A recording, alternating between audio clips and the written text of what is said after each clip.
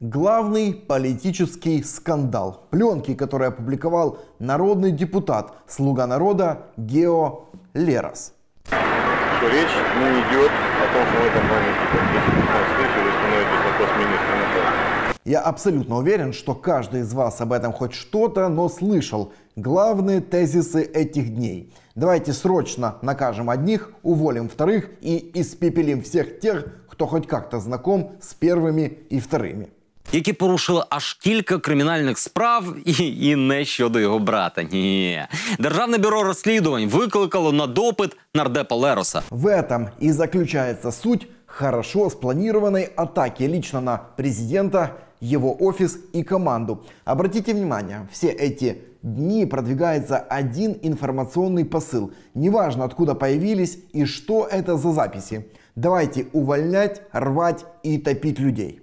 Вона не юридична, вона політична. І політична вона вимагає від президента рішень. Це ну, іспит для України на європейськість. Чи ми європейська країна, чи ні. Тому що в Європі такі викриття вони завершуються відставка. В это же время под хорошо организованным общественным давлением пытается все-таки расшатать Владимира Зеленского на какие-то действия. Собственно, давайте переходить к делу. Разберем эту ситуацию по фактам и наконец-то определимся, что на самом деле произошло и кто за всем этим стоит. Сам президент має встановити, як Лерос потрапив в парламент, тому що його хтось же рекомендував. Гіо Лерос був е, радником мера Києва Кличка і займався муралами. І потім така стрімка кар'єра в народні депутати. Тобто хтось його привів, хтось його зробив депутатом, і хтось за нього, як то кажуть, поручився.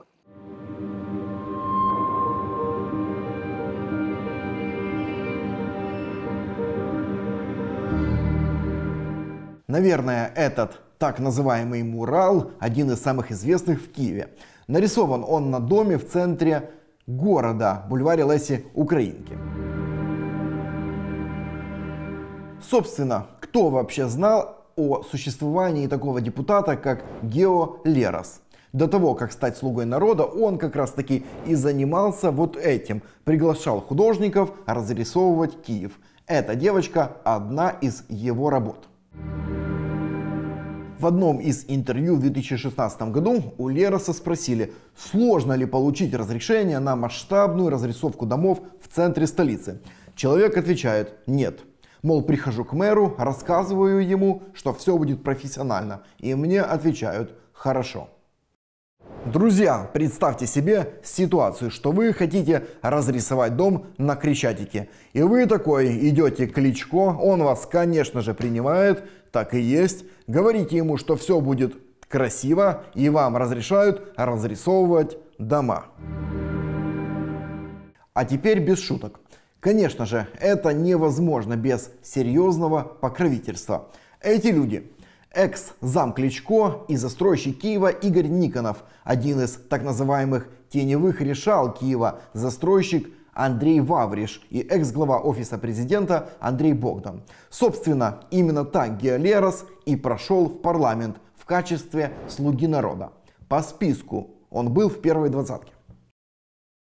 В истории с пленками Лерос никто, чисто отправная точка. Но этот никто имел несколько задач. Первая – слить пленки. Вторая – передать пленки нужным людям. Это важно, скоро мы к этому подойдем. И третье – максимально раскрутиться на этой истории для дальнейшей политической игры. Стать хоть какой-то политической фигурой. Ведь мы уже разобрались, что этот человек в парламенте ничего из себя не представлял до этого момента.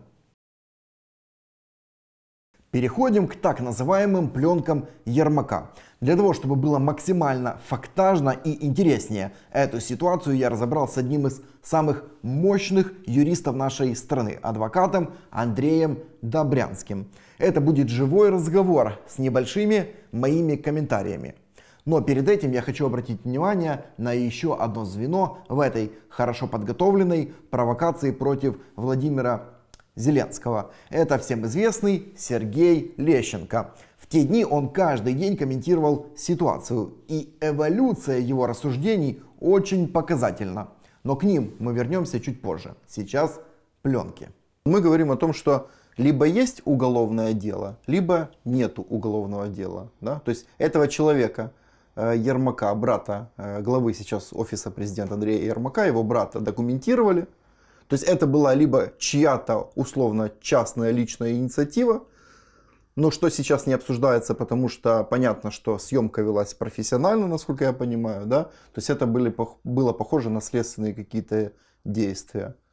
Да, абсолютно верно. То есть, ну, говорить о том, что э, уголовного производства не было, ну, как бы это уже перебор.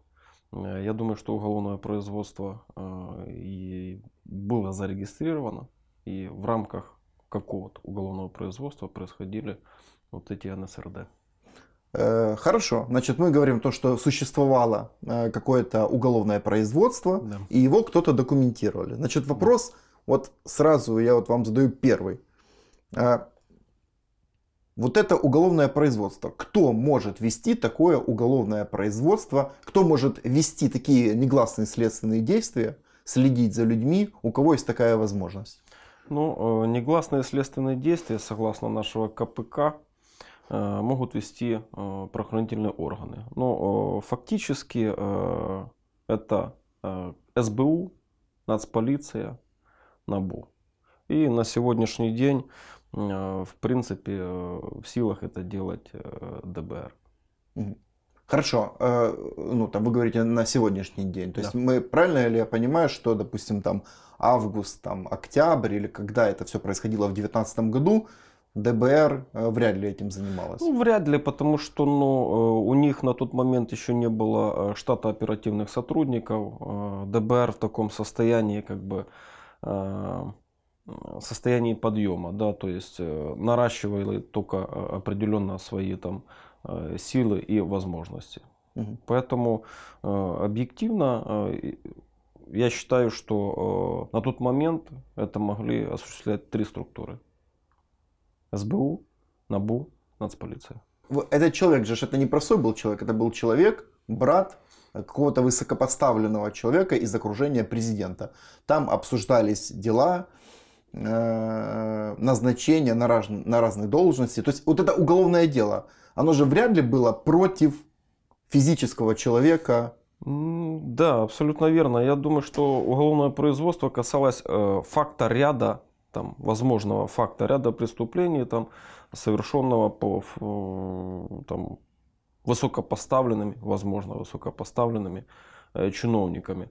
То есть э, из категории там, злоупотребления влиянием э, с целью э, получения определенного вознаграждения. То есть э, фактовое дело и исходя из этого, то есть мы можем предполагать, что все-таки подследственность НАБУ. Почему? Потому что это касается офиса президента или каких-то других чиновников? Ну, в том числе. И это касается, скорее всего, и офиса президента, и, во-первых, э, а во-вторых, э, по УПК это последственность НАБУ. Угу. Расследование такого рода уголовных преступлений. Но они же э, возбуждаются не э, против кого-то, не относительно кого-то. Это возбуждение идет просто по факту, потому что ну, те же назначения, которые они обсуждают на этих пленках, там же, ну, например, там по губернаторской линии, да, но это губернаторское назначение, они это вертикаль президента, то есть президент назначает. Ну да, но в основе, людей. своей, в основе своей э, такого рода преступления возбуждаются, э, э, уголовные дела возбуждаются по факту. То есть есть определенный факт, там утрируем, угу. злоупотребление э, своим влиянием там, при назначении там, Иванова, Сидорова, Петрова на такие-то угу. должности. Вот. Эти же факты все нужно проверить, так. задокументировать и потом уже э, огласить подозрение лицу и э, расследовать это уголовное производство в отношении конкретного лица. Угу. Вот. И поскольку вот этих вот людей, э, ну, их много, это группа лиц, и это люди определенного статуса, то есть это может делать только, э, ну, по сути, НАБУ. Я считаю, да. исходя из э, контекста нашего разговора и, и то, чем мы владеем на сегодняшний день, да, информацией, это может быть НАБУ. Ну, либо СБУ. Либо СБУ. Тут сразу нужно сделать небольшой акцент. НАБУ либо СБУ. Службу безопасности Украины возглавляет лучший друг президента Иван Баканов. Руководить службой Иван Баканов начал в конце мая 2019 года. То есть задолго до того момента, как стартовали негласные следственные действия, которые нам сейчас показывают. Верите ли вы в то, что лучший друг президента дал добро записывать такие вещи против их общего друга Андрея Ермака, чтобы когда тот станет главой офиса президента, слить все это и организовать такую провокацию? Ну, это фантастика. Я в это не верю абсолютно. Вот переходим к самому, самому вот этому уголовному делу, потому что э, оно точно было, мы говорим, иначе если его не было, Ну, я повторюсь, да, если его не было, то это уже а, совсем отдельная история. Хорошо, то есть, э, ну где, да, следят за братом высокопоставленного человека из офиса президента, это совершенно другие дела. Да. Хорошо, мы говорим о том, что это уголовное дело, допускаем, что оно существует. Так. Как э, вот в этом уголовном производстве получить вот это разрешение, все это происходит технически? Это же, я так понимаю, должны быть санкции на, произ- на- Да, абсолютно верно. То есть в рамках э, расследования уголовного производства следователь, прокурор обращаются э, к следственному судье за получением так званой санкции на проведение НСРД, то есть ухвалы. В данном случае это следственный судья апелляционного суда Киева. А почему апелляционного суда? Э, Процедура прописана в УПК. То есть санкции... Суд апелляционной инстанции э, по месту нахождения органа досудебного расследования, который производит досудебное расследование, вот, обращается в суд апелляционной инстанции. Ну, апелляционный суд в Киеве у нас, собственно, один. Киевский апелляционный суд. Да. Мгм. Киевский апелляционный суд. Э, Хорошо, может ли быть такое, что это происходит без санкций, например, судьи? Ну, э, в рамках уголовного производства это возможно, но это исключительные моменты. То есть эти исключительные моменты мне слабо представить, что именно в этом или в такого рода деле они существовали. То есть э, эти исключительные моменты касаются предотвращения там, преступления против жизни человека. Да? Мгм. То есть э, прокурор может принять такое решение, при этом неотложительно, при первой же возможности он должен обратиться к следственному судье с определенным ходатайством. Мгм. Поэтому мы понимаем, что без санкции суда это не может проводиться. Хорошо. Э, Итак, у нас, получается, есть какое-то уголовное производство, какое-то, очевидно, фактовое, о преступлении высших должностных каких-то там, ну, влиятельных, высокопоставленных, высокопоставленных чиновников Украины, там офис президента, Кабмин, в общем, оно фактовое какое-то, да? Да. Есть разрешение апелляционного судьи, э, судьи следователя, да, следственного судьи апелляционного суда Киева существует. Да. И это все длится какое-то время, потому что на пленке, которая уже сейчас опубликована, речь идет о том, что это август, октябрь месяц. То есть это ну, больше, ну, больше, чем полгода назад это все происходило. Сколько эта процедура, вот эти негласные следственные действия могут в принципе длиться? Ну, э, следственный судья дает санкцию э, на два месяца, но при этом э, орган досудебного расследования может обращаться за продлением. То есть получением там, на два месяца еще раз там, и так далее. То есть, но общий срок проведения НСРД не может превышать там, общего срока досудебного расследования. То есть у нас там по КПК прописаны определенные сроки, да, в зависимости от тяжкости преступления. То есть ну, мы понимаем, что это не может превышать там 18 месяцев, если это тяжкое либо особо тяжкое преступление. Хорошо, ну вот, э, вот мне, наверное, переходим к самому интересному, мне так кажется.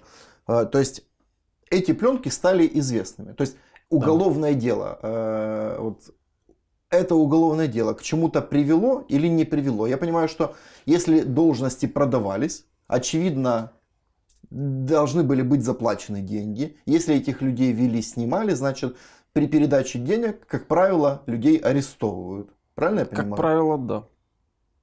То есть правильно, и вот я задаю вопрос, правильно ли я понимаю, что это уголовное дело ничем не закончилось? Думаю, что да. То есть, исходя из определенного анализа там, практики досудебных расследований э, в такого рода уголовных производствах, да, мы видим, что если орган досудебного расследования не может ничего доказать, э, каким-то образом в СМИ происходит выброс там, э, какой-то информации либо части каких-то НСРД по конкретным там лицам. То есть, типа, вот, пожалуйста, общественность там, осудите каких-то людей. Хотя на самом деле э, следователи и прокуроры не смогли добыть всех необходимых э, там, доказательств для того, чтобы э, огласить как минимум подозрение человеку. Чисто теоретически допускаем, что была какая-то информация по продаже должностей. Было заведено дело, начаты негласные следственные действия, но если следовать простой логике, ничего не подтвердилось. Ведь если бы были факты, например, передачи денег или назначения, были бы задержания и аресты, как мы это не раз видели, правда? Но ничего ведь подобного и близко не было. Ну, то есть, если бы они могли доказать, то вряд ли их бы сливали в эфир. Потому что все уже узнали, что документировали, Конечно, пасли, писали, конечно. и уже никто этим заниматься не будет. То есть логично допустить, что ну, уголовное дело закончилось. Ну, логично допустить, что оно может быть и не закрыто, само уголовное дело, да, но какой-то определенной правильной перспективы в этом уголовном деле точно нет. Но иначе бы пленки не сливали, уже ну, все же обо конечно, всем узнали. Ну, это же определенная процедура проведения этих НСРД, да. Э, То есть это контроль, аудио-видеоконтроль был за личностью, Мгм. за человеком. То есть э, это все протоколируется, это все передается прокурору. Прокурор э, принимает решение, имеют ли конкретные там э, участки там, э, да, значение для хода досудебного расследования. Если имеют, ну, принимаем во внимание. Если не имеют, ну, определенные эти моменты должны быть уничтожены Вот, на самом-то деле.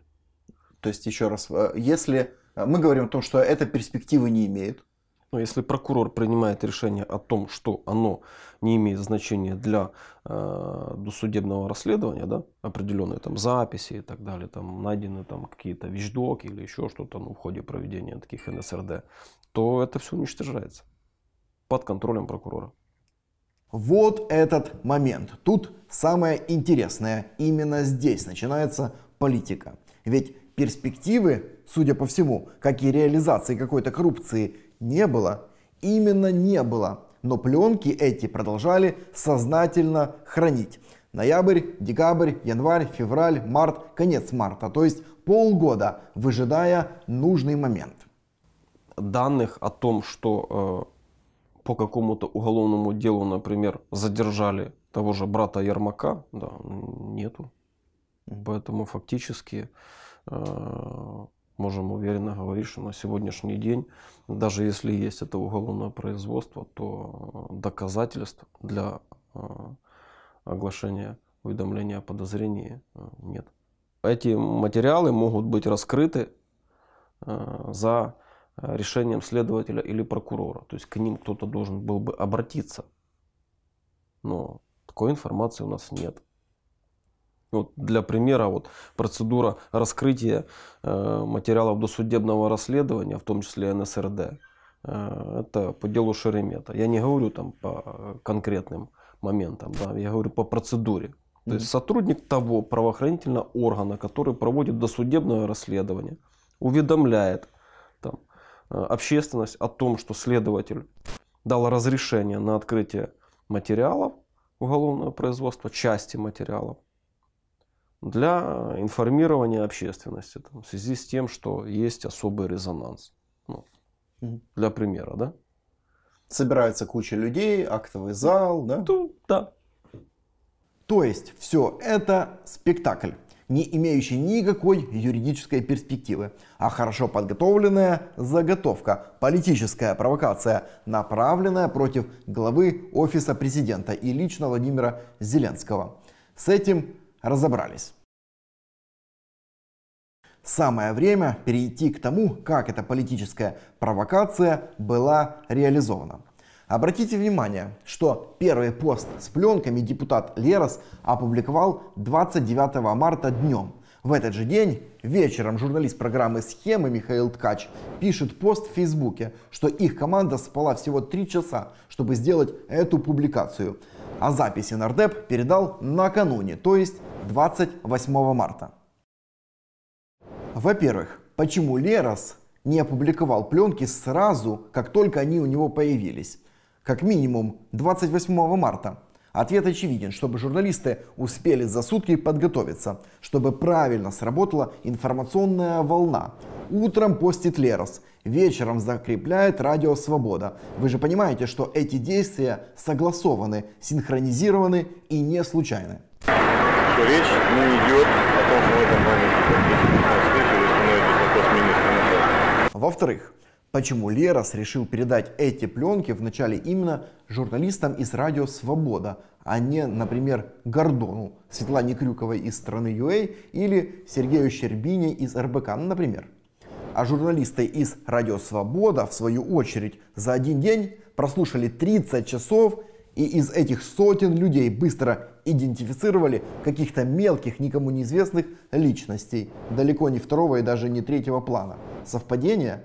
Или все-таки заранее подготовленная ситуация? Все в тот же день, 28 марта, Очевидно, после Радио Свобода записи були передані журналістам команди Бігус Інфо. Фрагменти цих записів у неділю опублікував нардеп Слуги народу Гео Лерос, але лише фрагменти. А нам депутат передав не шматочки, а годин 30 відео три доби. Відслуховували приховану відеозйомку. Выходит, что либо люди из Бигус Инфо в три раза медленнее работают схем, так как материал вышел только 1 апреля, либо все-таки это спланированная информационная волна, поддерживающая нужный градус в стране, внутри украинского истеблишмента на протяжении целой недели. Знаете, э, как на медленном огне. А в это время группа так называемых Сереж Лещенко пытаются надавить на президента, чтобы тот уволил главу офиса президента Андрея Єрмака Це іспит для України на європейськість. Чи ми європейська країна, чи ні. Тому що в Європі такі викриття вони завершуються відставка. Кстати, на следующий день после Бигуса, уже 2 апреля, выходит еще один материал «Радио Свобода» про Андрея Ермака.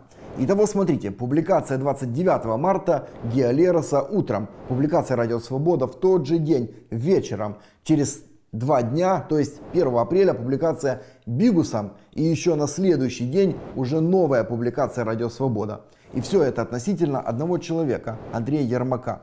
С фоновым сопровождением различных лещенков. Вы все еще продолжаете верить в такие совпадения?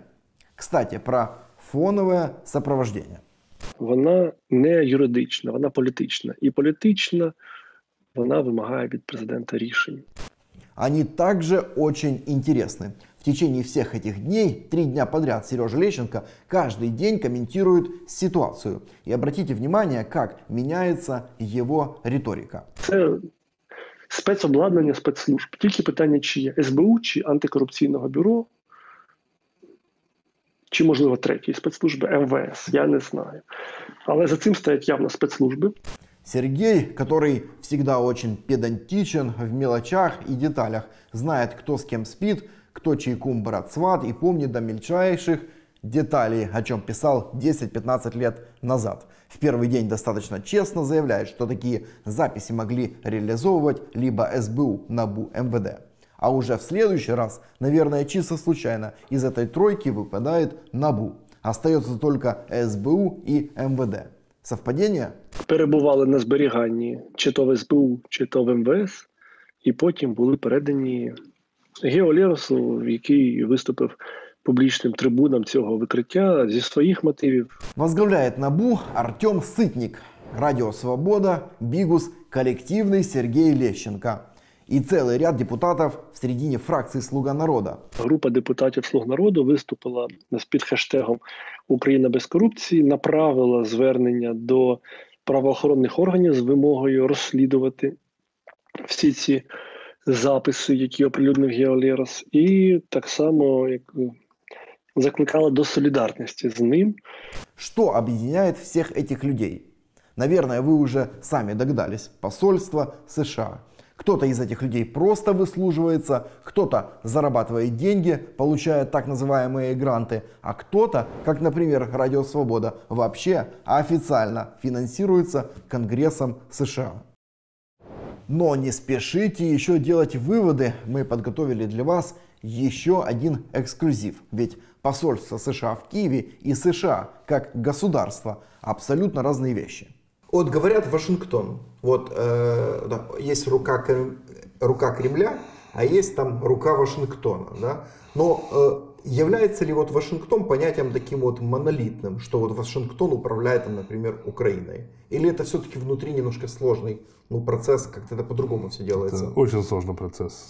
Внешнеполитический процесс в США, который сейчас есть, после 2016 года особенно, он вообще разделен не, даже не на две, а на пять рук, может быть, там ФБР, Минюст США имеет свою руку, даже департамент имеет свою руку, Белый дом, который этим всем пытается управлять, имеет свою пару рук, которые это координируют. И это все как бы отдельно, потому что очень много осталось еще людей, которые работают чисто на идее демократической партии, там Обама, Хиллари Клинтон, которые в госслужбе, это доказало импичмент, которые люди, которые должны защищать президента, Ну, попытка импичмента. ну, попытка импичмента, ну, те люди, которые должны защищать президента, там, ЦРУ, которые работают чисто на президента США, и даже такие вещи не выносить на публику, а разбираться в середине страны, когда такая всегда раньше было, всегда в стране какие-то есть свои плюсы и минусы, они это вынесли на публику и слили в прессу, разговор там Трампа и Зеленского. Потом это все весь мир это мусорил полгода, и нам досталось, и Трампу досталось, как бы, и он как бы с этого вышел на коне еще. Потому что демократы показали свою некомпетентность, потому что нет было материалов, доказательств.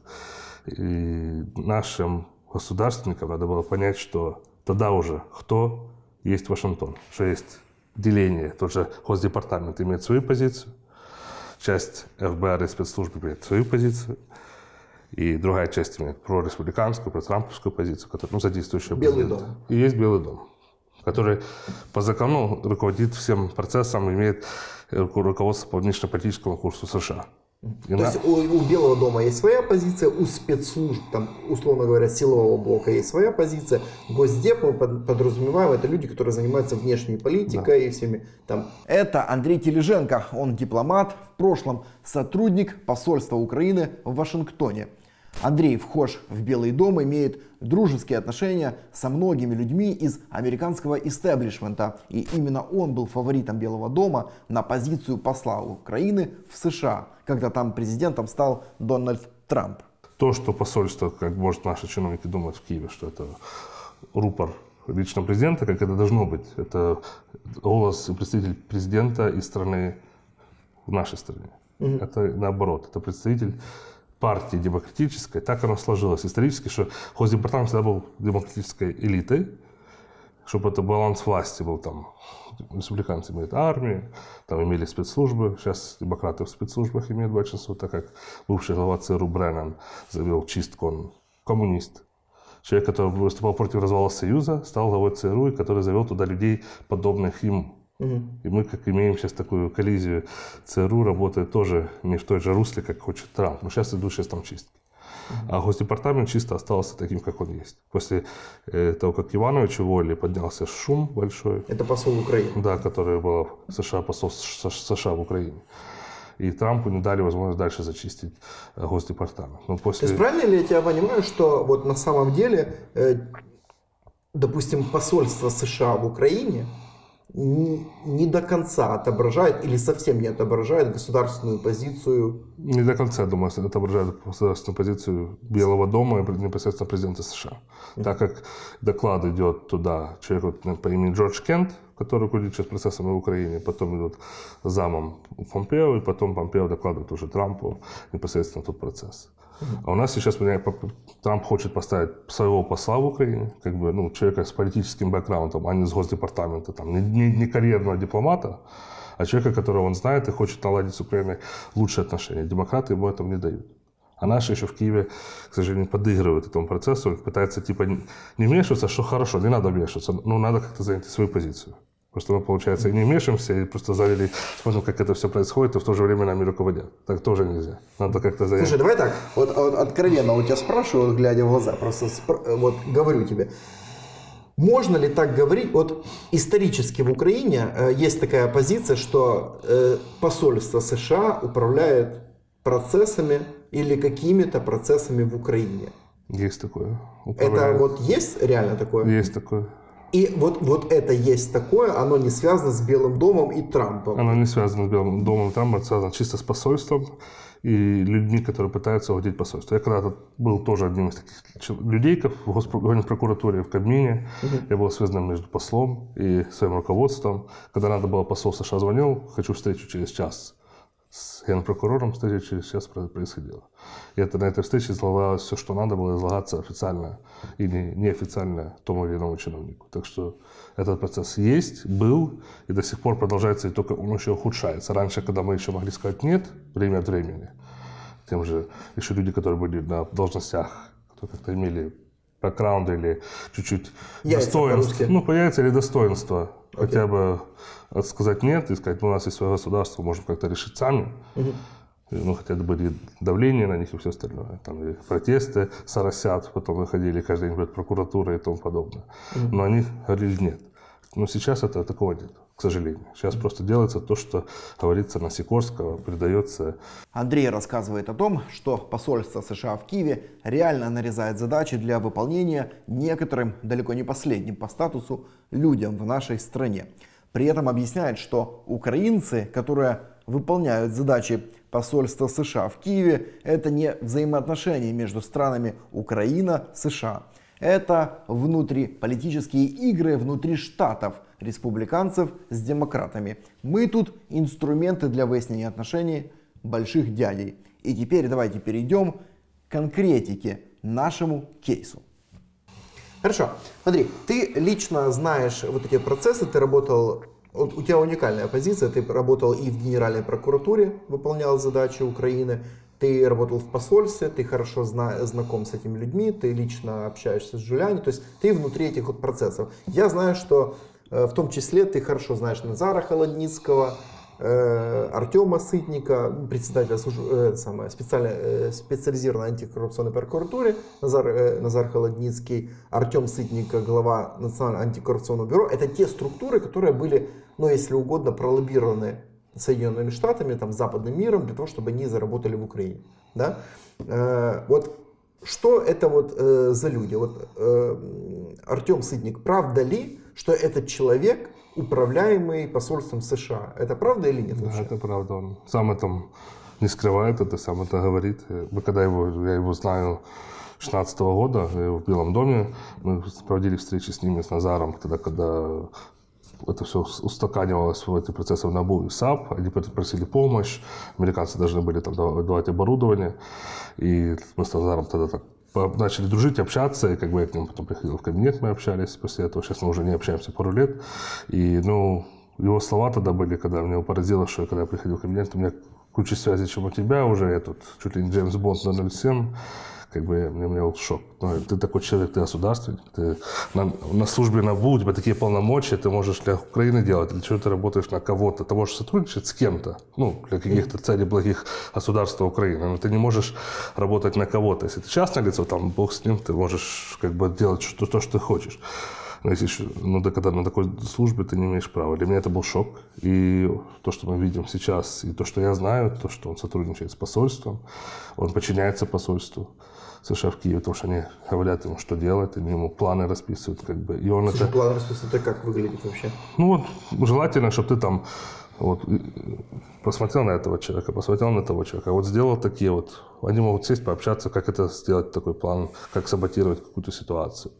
И вот это потом, исходя из этого, как бы я просто раньше с этим работал, я помню, просто это как бы дружеские отношения, ты сидишь, общаешься, тебе э, рекомендуют то, что то или иное сделать, и ты как бы соглашайся, чтобы как бы показать, какой ты крутой тоже тем американцам, что ты можешь это сделать. Потому что у них есть ряд людей, кто-то сегодня там любим, любимчик сегодня такой, там Лещенко, завтра Артем Сытников. Они между собой там пытаются сделать,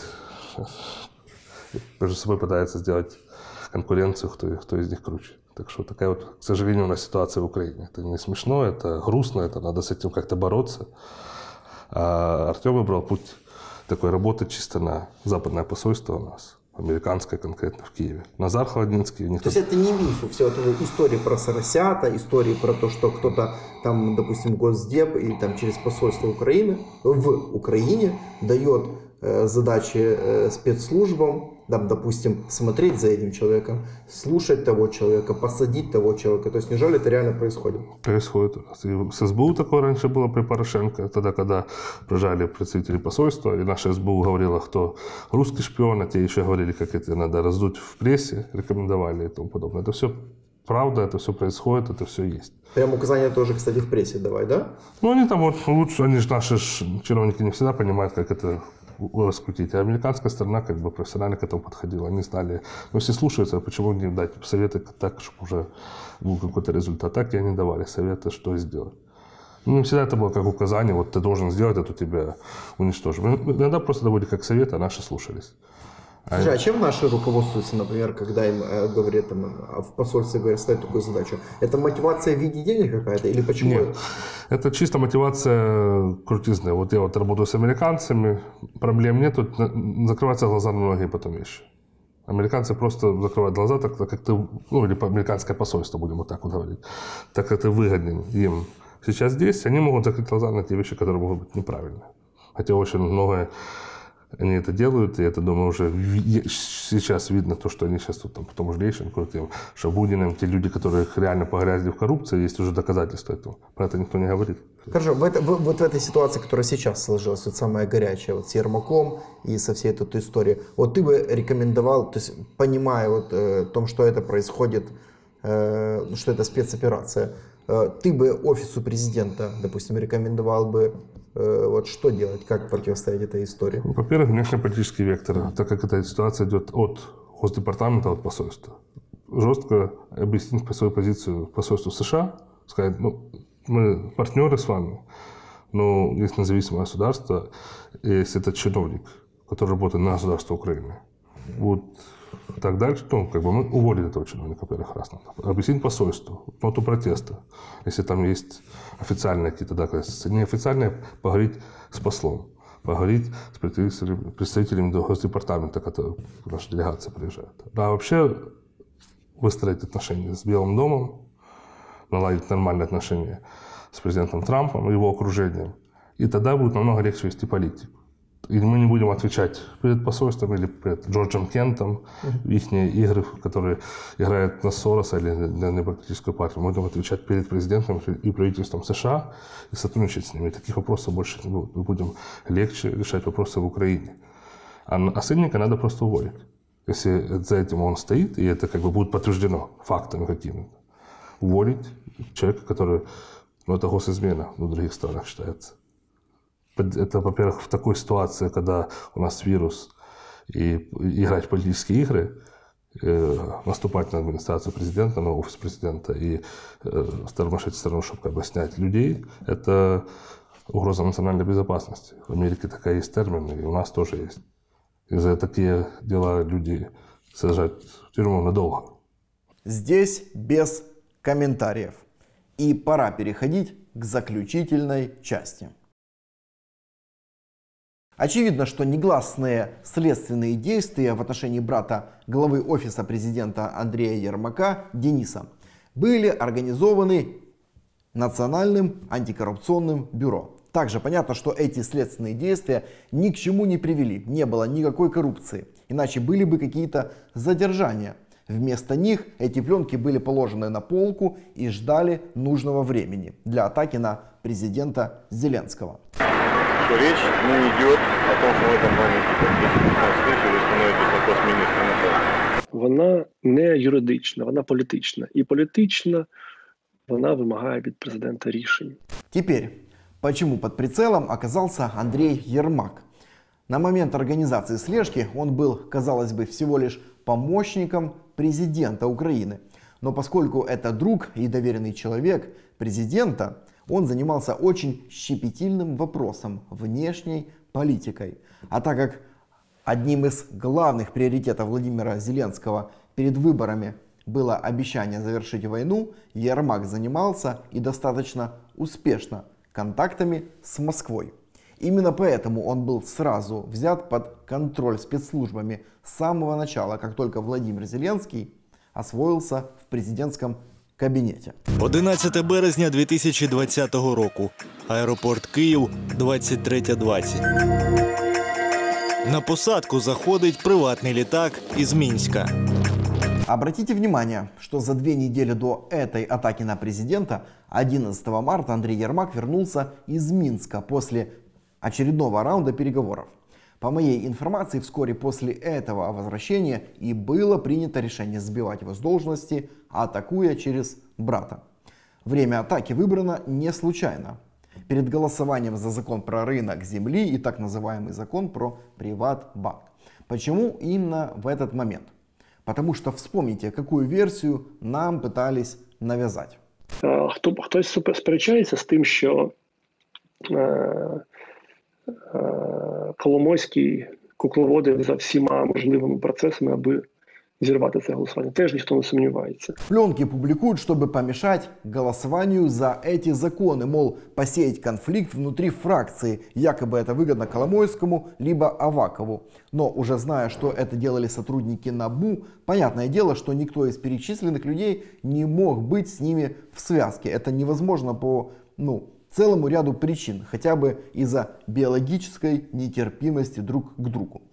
Но такая версия и удачный выбор времени для публикации дали возможность легко раскрутить всю эту постановку. Вона не юридична, вона політична. І політична вона вимагає від президента рішень. Друзья, общаясь с целым рядом собеседников из разных спецслужб, могу допустить, что если и найдется документ, под который все эти слежки были организованы, если и найдется, это будет очень не скоро. Скорее всего, об этой ситуации уже все и забудут ввиду карантинов и других проблем.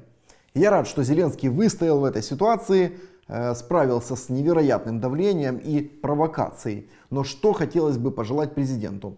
Поскорее избавиться от предателей в украинских спецслужбах, которые мочат его друзей, его офис по заказу иностранных структур.